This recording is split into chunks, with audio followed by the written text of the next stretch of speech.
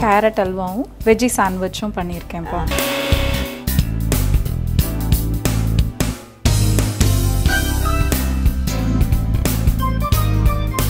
ரொம்ப ரொம்ப சூப்பராக இருக்கு.